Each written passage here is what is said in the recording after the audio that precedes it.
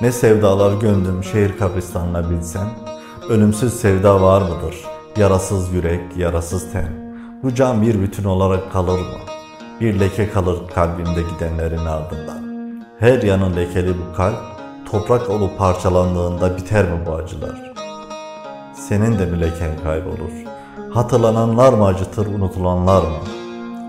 Silinse kalbimden her şey bir an. Bir kuş gibi hafif olsam. Ne geçmiş anılar, ne gelecek kaygılar. Silinse bir an. O anın adı nedir? İşte o anın adı özgürlük.